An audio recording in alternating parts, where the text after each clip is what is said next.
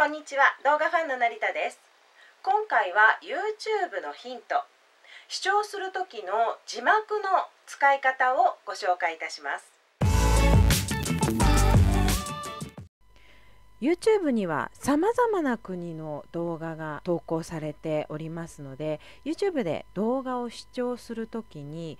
もちろん日本語の言語ではない動画もたくさんあります。そういった外国語の動画でも YouTube 視聴することができるんですけれども外国語ですと何を言ってるかがわからないということが多いかと思うのですがもちろん YouTube には簡単に字幕を表示させることができるようになっております。ではその字幕の表示方法なんですが、えー、私も参加させていただいているこの YouTube のヘルプチャンネルなんですけれども、えー、私たち日本のビデオコントリビューターが投稿している動画はもちろん日本語なんですけれどもチーム YouTube が投稿しているものは英語の動画になります。ではですねじゃあこの一番上のこちらの動画ちょっと開いてみましょう。そうするともちろん英語で皆さん喋っているので私は英語は本当に苦手なので何を言っているのかさっぱりわからないので字幕を表示させたいと思います。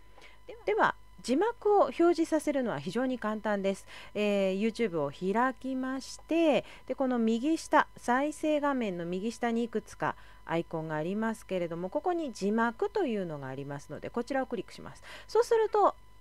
あっという間に字幕が表示されました。ところが英語の字幕になってますよね。これでは相変わらず分かりません。日本語の字幕にしたいと思います。その場合はこの字幕の横設定という歯車ですね。こちらをクリックすると、えー、下から2つ目の項目に字幕というのがあって今英語となっております。ここをクリックするとこのようにわーっと言語が表示されておりますのでここで日本語を選択すればこのように日本語の表示が出てまいりました。でここで日本語がもし出てこないという場合はですね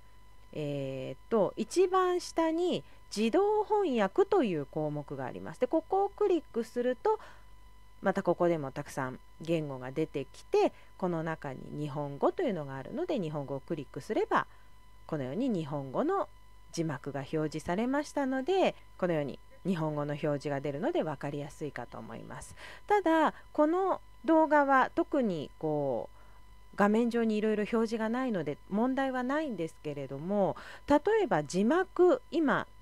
この画面の下中央に表示されているんですがここに動画の中で重要となるような表示が出てきた場合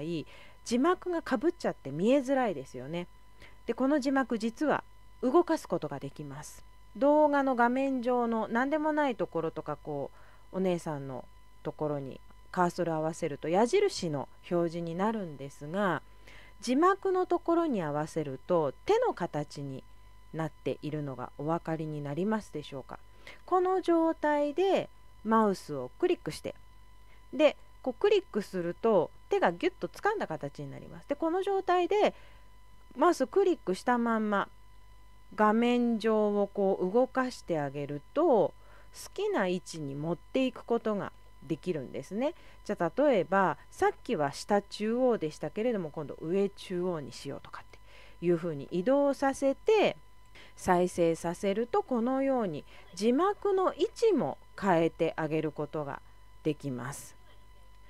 なおこの字幕、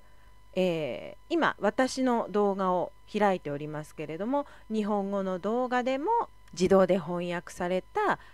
字幕が表示されております。えーと、今日本語になっておりますけれどもさっきと同じようにして字幕で、えーと、自動翻訳を選択してじゃあ、えーと英語にしてみましょうかね。英語というふうにやるとこのように英語の字幕をつけることができます。えー、自動翻訳機能が備わっておりますので基本的にはこのようにして外国語のわからない言語の動画でも字幕をつけて楽しむことができるようになっております。そしてこの字幕は位置を移動させることができますので、えー、ストレスなく動画を視聴することもできるようになっております。えー、外国語の動画が見れると動画の幅が一気に広がると思います。ぜひお試しになってみてください。それでは以上となります。最後までありがとうございました。動画ファンでは毎週月曜日と金曜日に動画の配信を行っております。チャンネル登録お待ちしております。